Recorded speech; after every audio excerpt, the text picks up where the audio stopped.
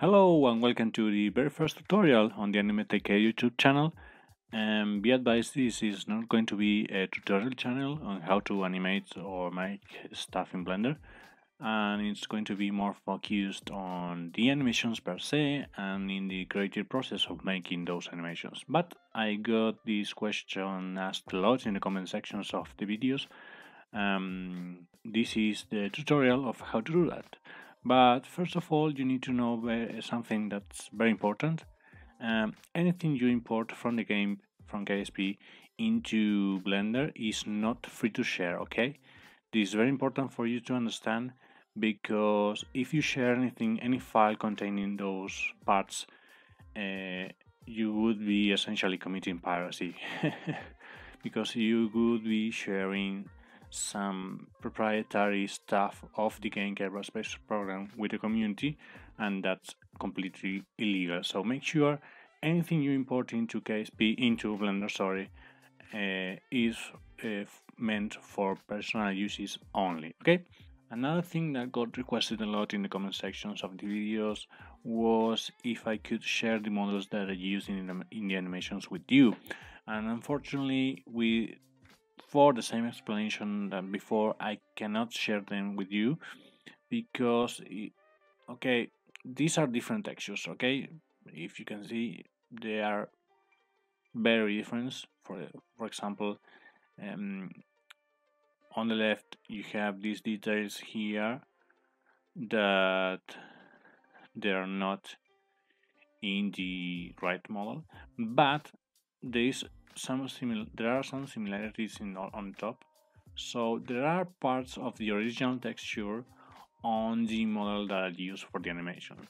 So I cannot share this model with you on right because it has some textures of the game and that could be illegal so maybe later I can manage to uh, change those textures and make them available for the public but that's not something that I'm willing to do right now okay?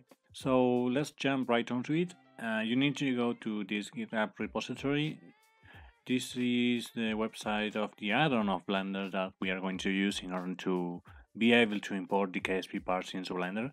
This is this add-on is called io object mu and is made by Bill Currie i believe yeah Bill Currie and goes he goes by the username of taniwha on GitHub. Give a quick read to the description here and when you are finished with that, go right up and click on this green button that says code and click on download zip. A new download will be created on your browser and when it's finished downloaded, you go to Blender and start with the clean scene. Let me just delete all of this real quick. Okay. First of all you need to go to edit then preferences. On the left you click on add-ons and then go to install. From then you need to navigate to the folder where you just downloaded the, the add-on and the add-on will be on the zip format. Click on the add-on and then go just below here on the right and click on install add-on Blender will create uh, an item here. It's going to be grayed out. You need to activate the add-on. You activate it by clicking on this check mark here, checkbox. It's going to take one or two seconds because Blender does some checks under the hood. Okay, that's the add-on that's been activated.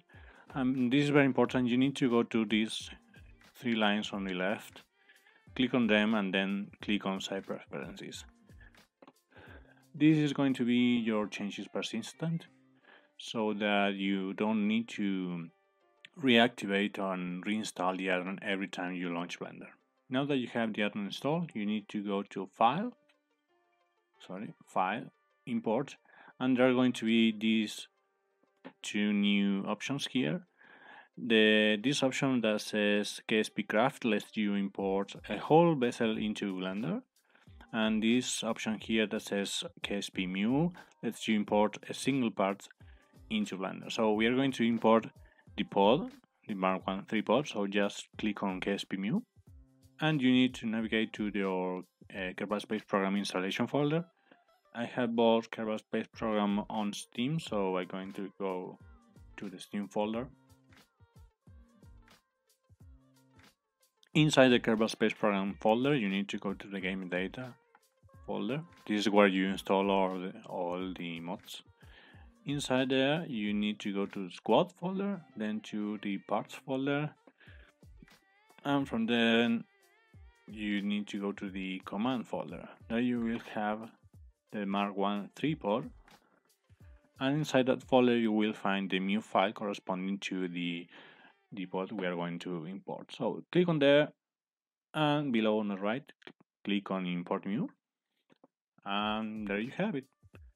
Uh, an awfully black command 1 3 port. So of course we need to make some adjustments to this mesh um, these empties that uh, let me let me go to the solid view these empties that you're going to see here are helpers for the unity engine to work properly. So we don't need them now so you can just delete them. This mesh right here is just flag go goodbye flag. These empties you can delete as well. And you will notice also that there is a low poly pod inside the high poly pod. let me just separate it real quick right here.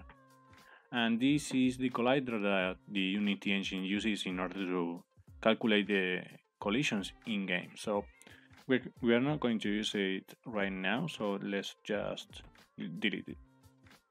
So we have right now one mesh and correspond, corresponding to the Mark 1 3 port uh, but there is some other adjustments and final adjustments we need to do to the shader in order to Blender to be able to render it properly because uh, as we saw previously if you go into material preview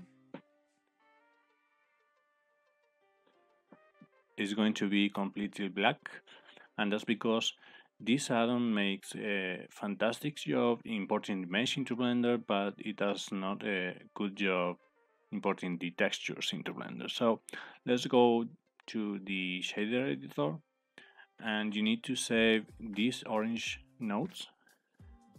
Those are the textures.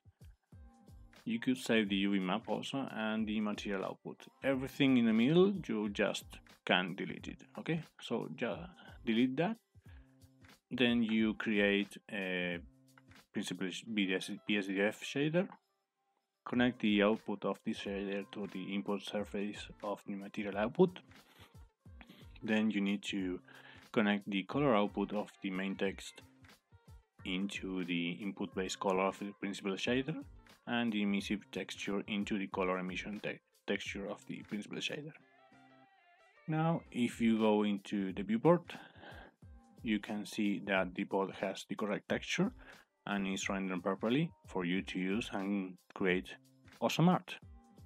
So there you have it, how to import the Kerbal Space program parts into Blender and how to work with them. So I wanted to mention that I'm going to make a Q&A video soon, so anything you want to know about the videos or the animations or the creative process, uh, of making those animations, you just can ask them in the comment sections of this video below. Follow me on my socials and I'm also letting you know that I made a Ko-fi page. It's like a Patreon and if you want and if you think I deserve it, you can just drop there a buck or two and make my day a whole bunch better. Thank you very much for watching, see you in the next video.